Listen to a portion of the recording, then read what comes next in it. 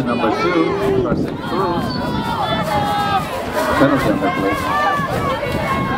Stop for